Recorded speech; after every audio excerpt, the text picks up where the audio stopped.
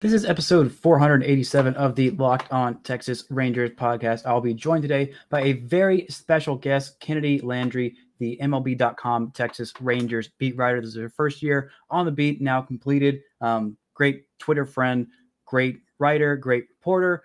Very happy to have her on the show. I want to thank you guys for making Locked On Rangers your first listen of the day.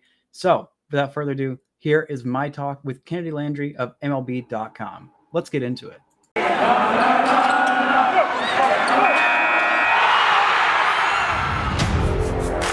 You are Locked On Rangers, your daily Texas Rangers podcast. Part of the Locked On Podcast Network. Your team every day. And here we are today, joined by a very special guest, Kennedi Landry of MLB.com. This is Kennedi's first season uh, as the MLB.com Rangers reporter, taking over for T.R. Sullivan, who I believe held the role since, uh, if my math is correct, 1773. She is a member of the Association for Women in Sports Media, and alum of LSU, where she wrote for The Reveille, and has also uh, written for or worked for the Sports Journalism Institute. Kennedi, how you doing today? I'm good. How are you, man? I'm, I'm doing good. It is an off season. There are um, there are some GM meetings where something is going to happen or nothing is going to happen and people are just going to hang out in uh, southern california for i don't know the next few foreseeable few days. We didn't get the invite. It's fine. We're fine. We're chilling here and you know in, enjoying our our time not traveling. Uh, how has your off season been how's your off season been so far? I know you did a little bit of postseason work, and so I didn't want to like ask you while you're in the middle of postseason. Just give you a few days to like just not be in the baseball. so what have you been up to since your season ended? Uh yeah, so I helped out on ALDS coverage between the the Astros and the White Sox. So I was in Houston, and then I went to Chicago. Um, and then then I went home for a few days, visited my parents, went to an LSU game, and now I've just been pretty much chilling in DFW, waiting for some moves to happen. That's where we are right now, waiting for some big free agent signings, some great trades, and all the things that Chris Young has cooking for this organization this offseason. So it's been pretty chill. Nothing, obviously, nothing's really happened yet. And the pending CBA makes things a little bit more interesting right now. So yeah, absolutely. Um, speaking of, of LSU, I, I, I decided to oh, wear some God. Texas Tech gear as opposed to Alabama gear. I do still have my my oh yes, I I see. But I have to ask: Are, are we still are we still friends after this weekend? I don't know. Look, I didn't I didn't even watch the game, man. I I decided to protect my own mental health and I, I made plans so I wouldn't even have to watch it. Apparently, it was closer than I thought. Apparently, they actually had a chance at the end. Um, but it, it's a rough time to be an LSU Tiger right now. I'll say that much.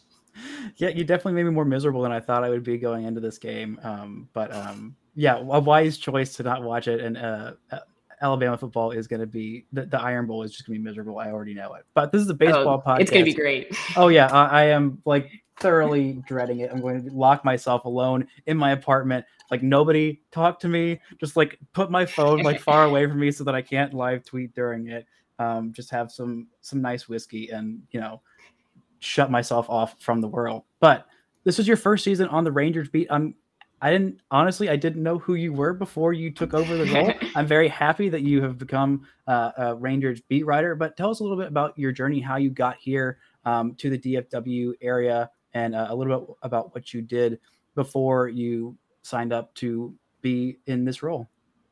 Um, so I graduated in in 2020. So amidst the pandemic and all of that, so I have yet to cross the stage at all. I guess I'm never going to do that now.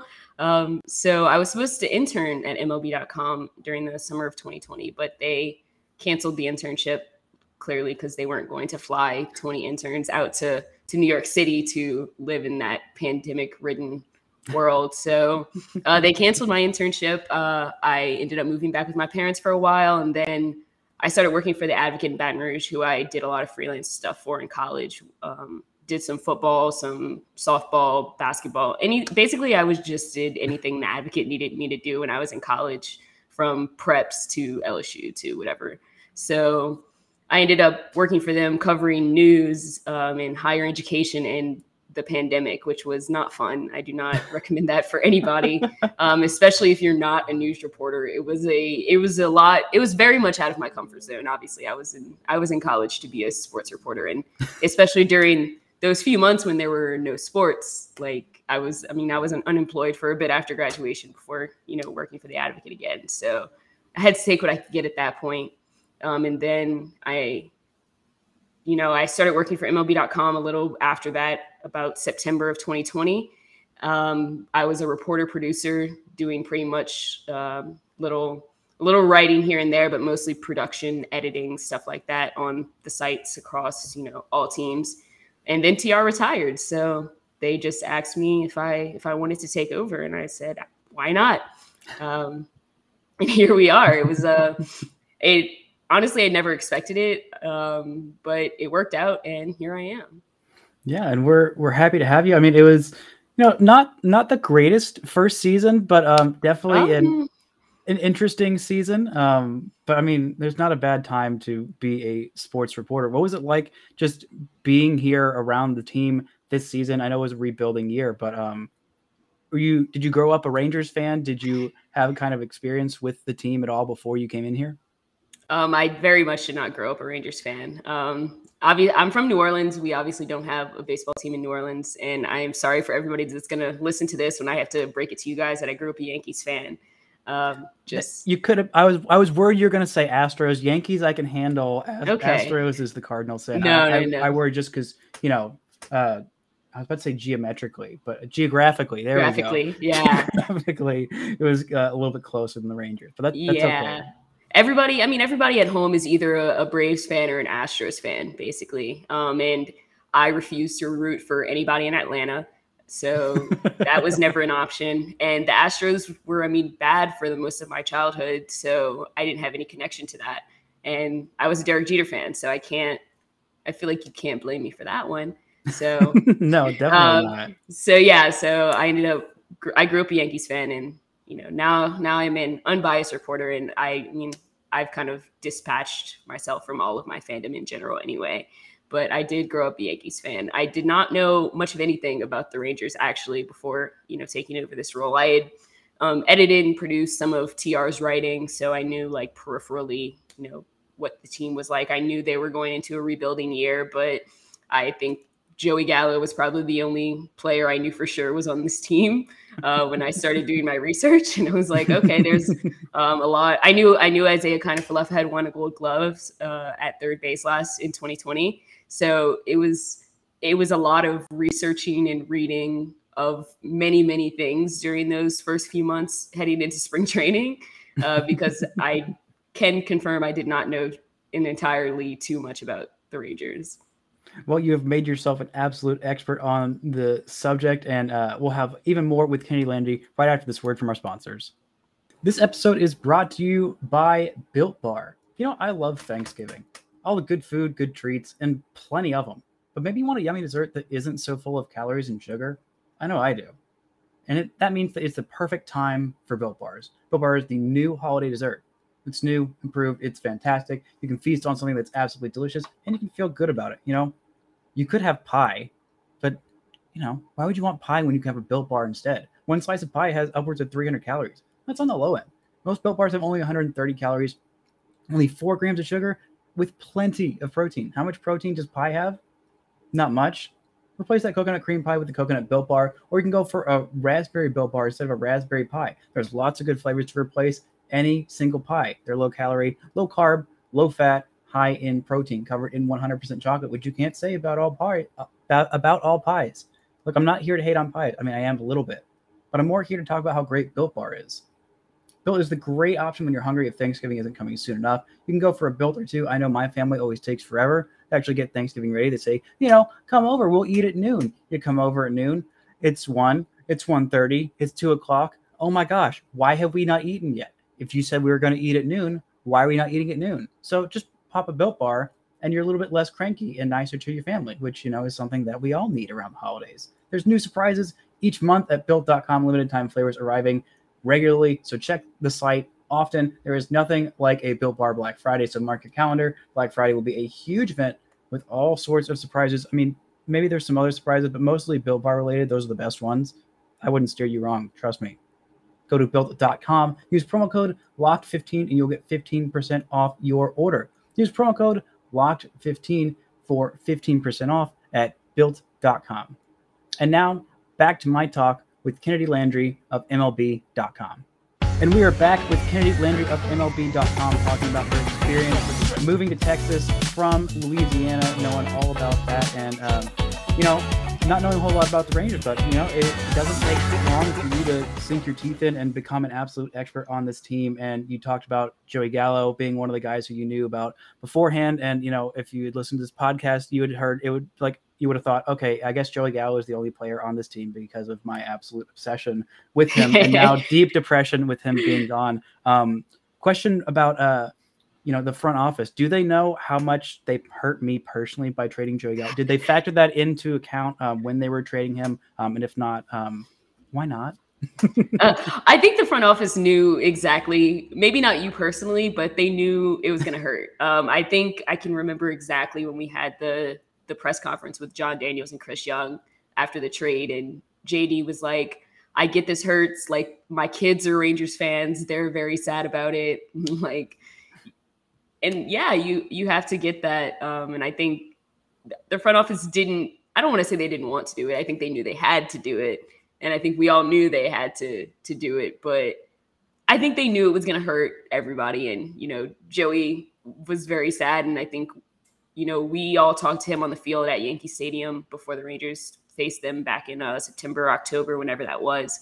Um, and you can tell you could tell Joey was very upset by the fact that it was happening, and it seems like while we all knew that he was likely getting traded, I don't think he ever let himself believe that was going to happen um, until it finally did. Yeah, uh, Joey and I were in a very similar space. Uh, deep, deep, incredible denial. Like, no, no, no, it's not going to happen. I, like, you know, you, you always know in the back of your head. I'm like, I'm semi-logical. I know, like, this is probably going to happen. Like, I would love for them to, you know, extend him, and there is a lot of value in having a, a star around. Like, when the Braves were doing their rebuild, having Freddie Freeman around and now mm-hmm. having him see it throughout um, their time when they were building into contenders and now winning a World Series with them. There's a lot of value in that and selling tickets. But um, a guy who was really putting butts in seats and being the kind of star of the show is a guy who was, was robbed by um, the Baseball Writers Association of America for not even being named a finalist for Rookie of the Year in Adolis Garcia. Uh, I have to ask, are, were you one of the ones who was voting in that award? Um, or do you have a list of names? I just I just want to talk to them.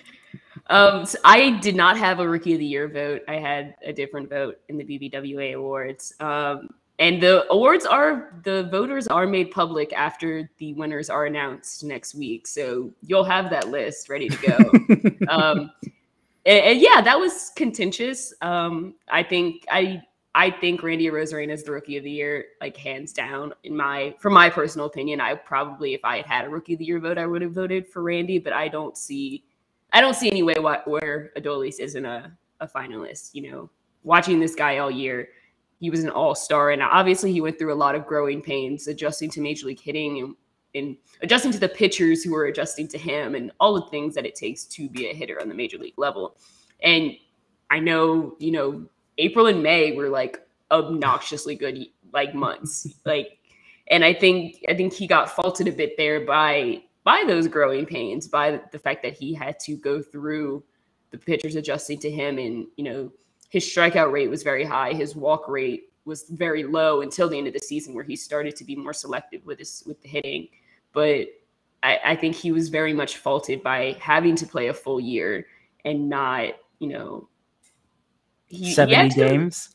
Not 70 yeah, games um, yeah i think that was one of the things that, that bothered me the most. Like i love wander and it felt like a confirmation bias of him like oh look the number one prospect. How, did he have a decent season? Yeah how many games did he play? Don't worry about it. It was like if if jacob deGrom isn't a finalist for the nl cy young with the historic season he had despite the injuries i know it's different reasons like it's you know um, right.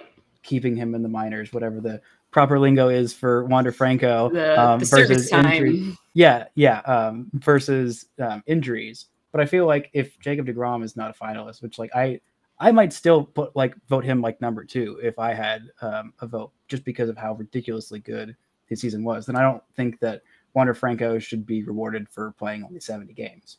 No disrespect Right. to him, but also No, I mean I- he's he's a phenomenal player, and I think I mean he did prove that through his 70 games, and he was the number one prospect for a reason. But you take Adolis's first 70 games versus Wander's first 70, 70 games, and they're they're like comparable. And you know, Wander didn't have to go through the full growing pains that Adolis did have to. And I know you go through like the Rays were a contending team. They didn't bring him up because they didn't have to, blah, blah, blah. That's not of any fault of his own. That's the Rays and their own front office and whatever type of service time manipulation anybody may or may not be doing. I don't know. But again, it's not of any fault of Wander's that he wasn't called up on, you know, April 1st. But and he probably should have been.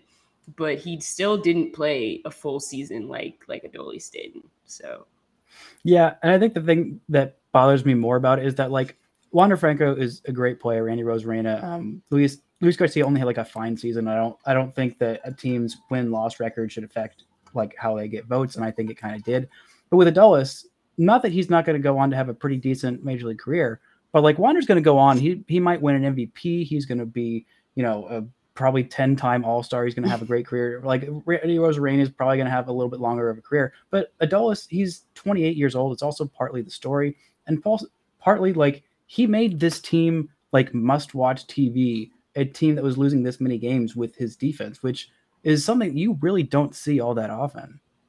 Right. And I think I think I don't know how people vote. I don't want to, you know, say that, but I don't think people took into consideration how much his defense mattered to this team. Um, obviously, they lost 102 games. They, I mean, one person can't affect the game that much, but he really did change a lot of games purely by his defense, and you see that almost every day. Yeah, it was definitely fun to watch. I will never get over that play that he made when he was in right field. A ball that I feel like he made a jump on before the the player even started Mm. swinging. That he just like robbed it over that um, first base like dugout line. It was just absolutely an otherworldly play. But he was just doing stuff like that all season. The like I don't know if he has to get his arm registered as like some kind of nuclear weapon because like I haven't seen anybody like maybe not even Joey Gallo uncork throws like he did, like flat-footed 95 miles an hour like on a strike. It was just so much fun to watch. And you know, Kyle Gibson is another guy who who came out of nowhere this year. He had a pretty decent second half to last season, which is, you know, a 30 game stretch, which is, you know, not a whole lot. But the first half of the season, he was absolutely on fire. What was it like to be around Kyle Gibson? What kind of impact did he have on this team in the time that he was here? Kyle Gibson was honestly one of my favorite players to talk to on this team. And I think we as the writers have talked about this a lot, but he's like genuinely such an intelligent guy. He has such good like baseball IQ and he'll he'll sit there and talk to you about pitching for 20, 30 minutes if you asked him to. And he's always and he's always willing to talk. He's just he was always willing to come out and, you know, talk to the writers, do whatever they needed to do. And obviously he was clearly the only basically veteran presence on the pitching staff in, in addition to Jordan Lyles, who really did step up after the trade deadline. But, you know, Kyle was amazing. And I think you can see that on the field when he really had that turnaround, especially when you realize from from last year, even from Minnesota to Texas, he completely turned everything around and every how he pitched. I didn't really follow a lot of how he did after the trade deadline, honestly. Um, Wasn't as great, but you know, I blame the Phillies for that one, not Kyle. yeah uh, i don't i i'm so like detached from the national league sometimes that like like towards the end of the season when i realized the the cardinals were actually like in striking distance of a playoff spot i was like i clear i did not even know that like i was just so focused on like every like all the american league teams that i just totally missed that um, but no no kyle's amazing. He was one of the first players i really talked to after we started getting allowed on the field. Obviously we weren't allowed to I didn't meet any players or coaches or anybody in person till like late May, early June, like just because of obviously COVID and how the protocols were working out and shaping out during the first part of this season that it took a while for for really me to meet all of these players. And Kyle was one of the first ones I did talk to.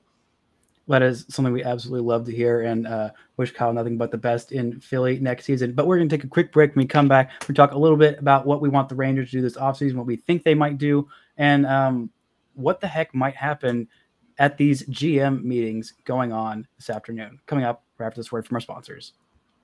This episode is brought to you by betonline.ag. We're back and better than ever. A new web interface for the start of basketball season and more props, odds, and lines than ever before.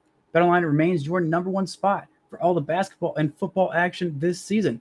Head to our new updated desktop or mobile site, sign up today, receive your 50% welcome bonus on your first deposit. Just use our promo code locked on to receive your bonus from basketball, football, NHL, boxing, UFC. Write your favorite Vegas casino games. Don't wait, don't wait to take advantage of all the amazing offers available for the 2021 season. And you want to bet on the Stars going to overtime and maybe winning a game this year in overtime, which they have done a lot. It's kind of confusing. You could bet on that.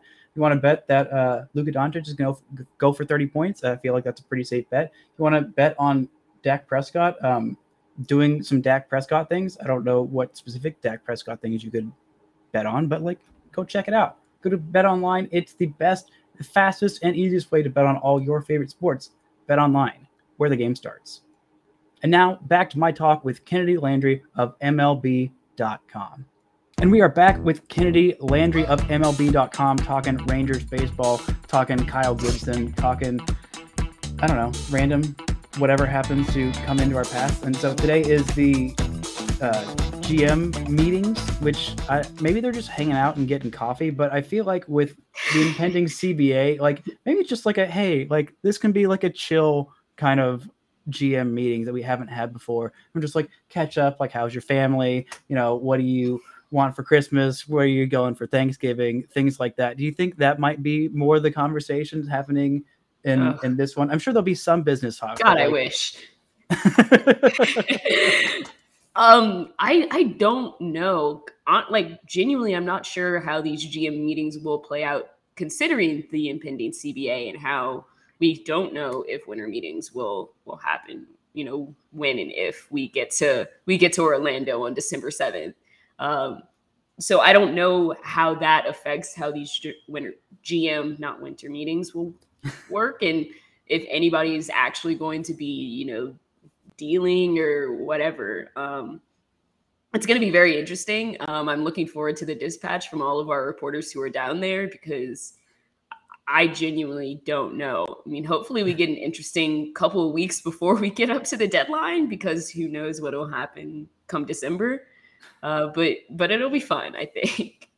Well, it's, I'm hoping they do at least a little bit of something. I've got five shows a week for the majority for the entire month of November. and Then it goes it, it goes down to three a week in December. So I need something to talk about. So I don't know. Maybe they could like send me some some transcripts or something like that. But um, what are you expecting the Rangers to do this offseason? They've been talking a little bit about. I, I, mean, reports have been coming out that they might try and bring Clayton Kershaw home. Um, my boy. Um, very would love to have him here. There's also um, talk that they were at um, uh, throwing showcase, I think was the term for, for Verlander, Justin yes. Verlander. Um, what kind of benefit do you think it would bring on a team who will probably be just like starting to come out of the rebuild next year, not quite contending, to have these veteran guys on this staff, um, especially with guys like Dane Dunning and uh, Taylor and maybe Cole Winn at some point next season. What do you, what kind of benefits do you think those guys could bring uh, on this pitching rotation? I think I think the Rangers very much need a good, solid veteran starter. Um, no offense to Jordan Lyles, who again was a very uh, became a big like leadership presence in the pitching staff after the trade deadline, but I think they need a really solid, established veteran who can really guide this young pitching staff into next season and, as you said, out of the rebuild. Um, I don't know if that's going to be Kershaw Verlander or somebody, you know, just more middle tier, maybe like Marcus Stroman or um, like anybody who really is. There's a lot of free agent pitchers up for grabs, and the Rangers are definitely going to need a lot of people to to throw some innings because all of these guys are very young. So I I think it's they need one, probably more than one pitcher to sign or trade or whatever. Um, Clayton Kershaw, I think, is going to be very interesting because he is from the DFW area and that is well documented. Um, I've always said I think the guy's a Dodger for life. Um, I think the you have to you have to try. There, there's no way the Rangers don't try to get him home and bring him home. I know he has a he has a house here, like It's oh yeah, he, he lives here. Move, he, li- like... he lives here during the off season. Like right. every off season, he you know his he grew up here. His wife grew up here. Um, her family, I think, also grew up here, and they her parents uh, live in the area. I think his parents still do as well. But like there is some some seriously strong ties, and it would be really tough to go from being a Dodger his entire career, being contending his entire career to, I mean, the Rangers probably aren't going to be contending this year. I mean, if they sign him to like a three, four, five year deal, I think they might be by the end of it. But going from, you know, the hundred win team to the Dodgers to Texas might be tough. Mm. But I think if anywhere can draw them away, it's Texas. I don't know that they can. But I you, think like those said, are the only try. two options. Yeah. Um, I, I don't see again, I don't know I don't know anybody in Kershaw's camp. I'm not gonna pretend like I do, but I just don't see how he goes anywhere that's not, you know, home to Texas or, you know, stay in LA where he's been his entire career. Yeah, another guy who's got Texas ties who I would love to see in Texas is uh, Mansfield's own Noah Syndergaard, who is a um, is it is it called a restricted free agent? He was given the qualifying offer. I, I don't know if that's right. the technical term, but um, a guy who throws absolute gas through an inning this year, and I think didn't pitch in the 2020 that he missed because Tommy John surgery. So he's been Correct. basically out for for two years. But um, a guy who, when he's healthy, he is absolutely dominant. A really great Twitter game and um, a lot of beef with uh, Mr. Met. Could that drive him into the arms of the Rangers? Um, I think Captain's a little better than Mr. Met, so maybe so. maybe he has a little better better relationship with with Captain. Uh, I think the Mets. I think the Mets in general create very interesting outlooks for all of their free agents this coming season because um, they don't currently have a president of baseball operations, they don't currently have a GM, and they don't currently have a manager. So, uh, and especially when whatever happens with the CBA, um, I would think they want at least one of those three things um, because you think you would because who is is Alderson making the deals right now. Like I who who is doing anything with the Mets, and I think that that just makes things a little more interesting when it comes to the Mets free agents. Like I said, uh, Syndergaard, I think he's an interesting guy. Like you said, hasn't pitched since 2019, and could you know be a middle of the rotation guy, especially for the Rangers when it doesn't take much because there's just so many young guys on the staff right now. Um, I mean, again, the Chris Young and Jon Daniels have said, you know, they're looking to improve everywhere, and I know fans have a lot of apprehension um, whenever the front office says anything because they haven't been willing to spend big in the past. Um, I wasn't here for that, so I'll take everybody else's word. But it seems like they're very upfront about their willingness to, you know, be active and be aggressive this winter. And I think you have to go after whoever you can. Um, if that means going after Noah Syndergaard, who hasn't pitched in two years, it's you know low risk, high reward. Might as well. Um, I I don't know. I just think you have to. They have to try on pretty much everybody, honestly. Yeah, uh, and you know, uh, of the who's making decisions and doing things for the Mets, I feel like that's a perpetual question, even when they have a GM. um, but if you don't have a GM, are you allowed to send someone to the GM meetings? Does like Steve Cohen just like show up, or I am so confused. I need to oh, know. Oh wow, I didn't even think about. I didn't even think about that. I wonder. I feel like Alderson's got to be talking tomorrow. Maybe they're right? like, "Sorry, GMs only. Um, nobody else can come. you can't show up to these meetings. You don't have a GM. It's like a you can't sit with us kind of thing." oh, the Mets. Oh no. Oh, the Mets. Um, but yeah, um, I'm I'm curious because I mean, you weren't here for all the years of the, them not signing people, and everyone knows that they're in a rebuild. And I mean, generally, the fan base is like, okay, well, eventually you have to rebuild after being contenders from 2010 to 2016. Kind of fool yourself a little bit in 17. Um, but I feel like, may, is it wise to broadcast so vocally, like, hey, we're going to spend a bunch of money this offseason. We're going to go get your hopes up really big instead of being like, we're going to try and get some guys like maybe we'll get some guys or not like we're a rebuilding team and then when you do get those guys it's more of a pleasant surprise as opposed to putting a lot of pressure on themselves to go out and get somebody because they talked all this big talk is that am i over overthinking that or is that I don't know. Is that something that, that you thought as well? Um, I, I think it's crossed my mind, but I also have come to the conclusion that I just don't think Chris Young would be so open about his intentions if he wasn't at least mildly confident in the front office's ability to sign at least one big name free agent. I think I think this winter will be a failure if they don't sign at least one big name guy at this point. Um, just because, like you said, of how much they've talked it up. Um, I don't want to say that was not wise because I think so many fans have kind of lost trust in the front office's ability to kind of make moves happen. Uh, I think they had to broadcast that yes, we're we're trying. Um, whether whether they go out and you know sign Clayton Kershaw or uh, Carlos Correa or whatever, they at least have you know shown that they are making the effort to at least do that. But you know, you got to appreciate. I mean, you, you got to do something in in a, a, losing season. It's a franchise that had been had done so well for so long. I mean, not pretty much nobody can be the Rays of just like win 90 games every single year for a decade, and even when you lose all of your good players or trade them away or wait half a season to call them up, like they still keep winning games. But um, I do appreciate that they are setting these expectations so we can like get our hopes up and have something to talk about. And there are a whole yeah, lot sure. of, of big free agents this offseason. Um, who do you think of those three, the three big names at shortstop? Of those three, who do you think the Rangers are are targeting the most? Do you think they have um, a preference, or if they got any one of those three, that they would be calling that a successful offseason?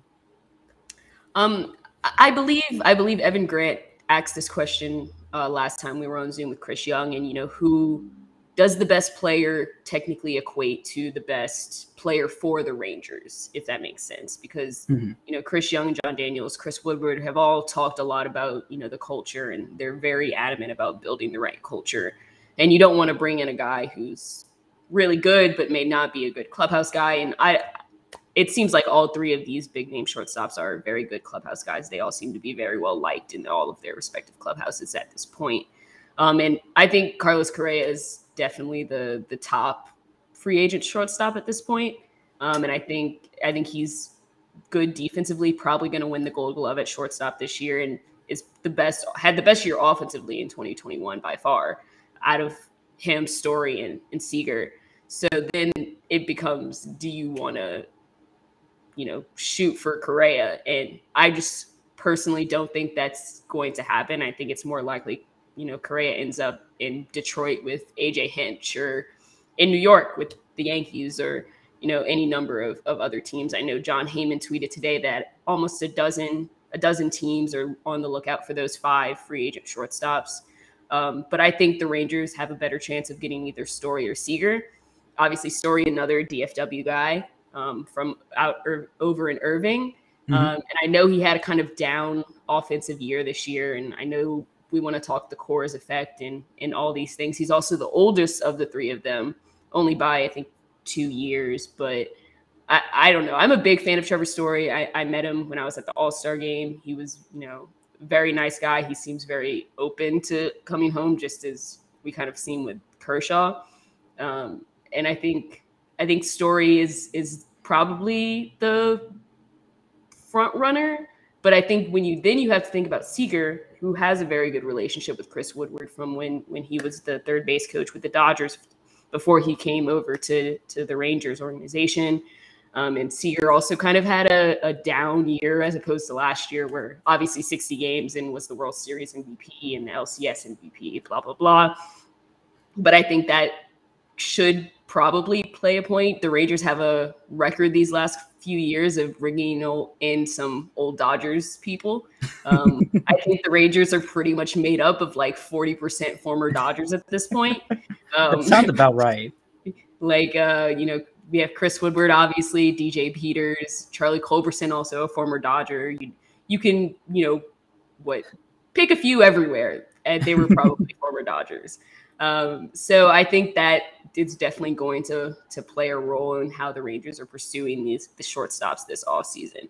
Again, my my I'm not a GM. My personal preference would would just to be Trevor Story, but you know, we'll see. I, w- I wouldn't mind a Trevor Story. It makes me feel better that you're saying you don't think that Carlos Correa would be um, likely to come here. Not anything against Carlos Correa, but a little bit of against Carlos Correa because he does have a little bit of that Astros stink. And just like anybody who has done well for the Astros, like coming to the Rangers and like being a part of that, I know would definitely cause some apprehension with the fan base. There's a lot of people that I've talked to are like, I don't want Correa with like everything that he's been a part of with this the you know what's coming off of of still years later still a lot of bad feelings about what happened in Houston with that um, cheating scandal and they don't feel like he was apologetic enough or whatever they just don't want that yeah. on the team and you don't get that with Corey Seager you don't get that with um, Trevor Story and um, and I think I don't know how how good of friends uh, Clayton and Trevor Story are, but like maybe one of those could recruit the other. If if the Rangers got both Clayton Kershaw and Trevor Story, I don't think I could be happier this December because I would. Uh, I don't even know what I would do if that happened. Honestly, I I would kind of I would be shocked first of all, like because like yes, they've talked a big game, but if they somehow did you know manage to lure Kershaw away from the Dodgers and get Story, that would be that would be insane. Chris Wood, Chris Young should go straight to the Hall of Fame for that alone.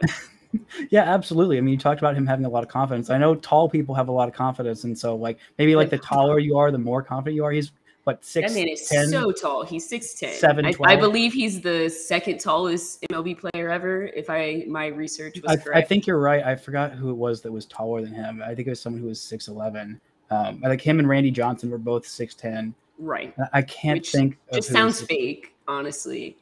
Like you know, I'm I'm five two for like for perspective's sake. Um, and most times when I talk to Chris Young, he is standing in the dugout, so he's a few steps below, and he still ends up taller than me. So that was one of the things that I like of the many things that I love. the one season that I was actually there and covering games at the NBA, every single time I'm five nine. So everybody, I'm like, hey, uh, can you tell me about this thing? Let me like raise up my mic, like literally all right. the way up. But um, I think I would love to be in, in MLB, you know, clubhouse because there's less of this action going on. Um, and you know, also for some reason, every basketball media person is at least like six foot six two, like all of them. I'm like, how how is this why I'm I'm not here anymore? Is because I'm too short? I mean, too that short. might be. I don't know. Marc Stein of uh, well, I guess formerly of the New York Times is like I think five six. So you know, okay. you got to be really special to to stick it out. But um, this is why I liked covering gymnastics in college. Oh my gosh! right? Who were shorter than me. Um, so that was perfect. That and like I feel like soccer would be great because you know you have like the Messis that's like five six or whatever. I mean, you also have like the occasional like I think Virgil Van Dijk is like six four. Um, you have those defenders and goalies that are like super tall, but uh, for the yeah. most part, those little forwards are just like itty bitty. Um, and that's the same thing with um, with most baseball players. Obviously, you have the Joey Gallos and the Aaron Judges, but you also have the Jose Altuve's. Um, yeah. But I'm curious. Altuve's short. Oh, absolutely. Like I think him being listed as however tall he is, like they definitely. I think it's fake. 1, I think they definitely added a few inches. I know they did with um with Ronald Guzman. He's listed at like six seven. That guy's at least six nine. Like there is no way he's not um taller. I don't know if he's six nine. I don't know. I I felt pretty confident that he was like taller than six seven. Um, had a, a wingspan of approximately like thirty feet, um, something like that. Um, Sounds accurate. But I'm I'm curious uh, to to kind of wrap this up. What were your kind of just lasting impre- impressions from your first season, just being around Texas, the team, um, just any like things that kind of shocked you or stood out in a in a good way from your first season on the beat? Um, well, it was a long 102 loss season. I'll say that much. Um, uh, going to LSU, I've never covered a losing team before, uh, so this was my first time ever covering a team below 500, and uh, they were quite a bit below 500. But um, I, I, really enjoyed my first year here. DFW is really great. Um, it's no New Orleans, but it's a great place to live. Um, and the players and the the teams, the coaches, everybody was very nice and welcoming. Everybody on the beats very nice. Obviously, Evan, Levi, and Jeff, they're all they were all very welcoming to to me coming in as a little, you know, 22 year old to to cover this team when they've been doing it longer than I've been alive. Um, so I, I, really enjoyed it. The and the coaches and players are so receptive and so open to to talking for the most part. You know, I rarely had a I don't think I ever had a bad react interaction with anybody on the Rangers, you know, team or staff, which is you never know what you're going to get with professional, you know, athletes. And the Rangers did leave a you know really great impression. I think Chris Woodward does know what he's doing and he's really working to to build a winning culture in this team. And I think you know, I hope it works out, and I hope I get to cover Chris Woodward for a for a long time here. Yeah, uh, Chris Woodward, as I said, has very much Ted Lasso vibes. I know you are yes. a fellow appreciator of Ted Lasso, and once Evan brought that up in a tweet, I was like, you know what, I can't not see it. And I even started reading uh, Chris Woodward quotes in my um, my very mediocre Ted Lasso impression. So, um, but yeah, it's it's definitely. Uh, an interesting time to to be on the beat, to be in the trenches. And if you ever want to interview uh, some coach or something that doesn't go your way, just go talk to Rick Carlisle. He's always in a perpetually bad mood. So okay. um, if you want to have that experience, just go cover a Pacers game, I guess. Um, I don't know why MLB.com would send you that, but like, I don't know. Maybe maybe they we'll could try. find a reason.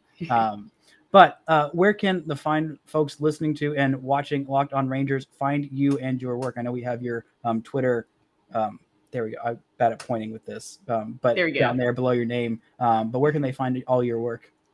Uh, MLB.com slash Rangers or Rangers.com. That's where you see all of my work. Um, obviously at Twitter at Ken Landry with two N's. Very relevant information there. Um, and that's about it. You can, you know, like my tweets. They're usually very bad unless they're informative. So take that with a grain of salt, but you got it yeah, all tweets are bad. Uh, some of them are just less bad than the others, but that's why we love them. And um, thank you so much for taking the time to join us on the show. And that'll do it for this edition of Locked On Rangers. Thank you for missing, making Locked On Rangers your first listen of the day. And until next time, don't forget to enjoy baseball.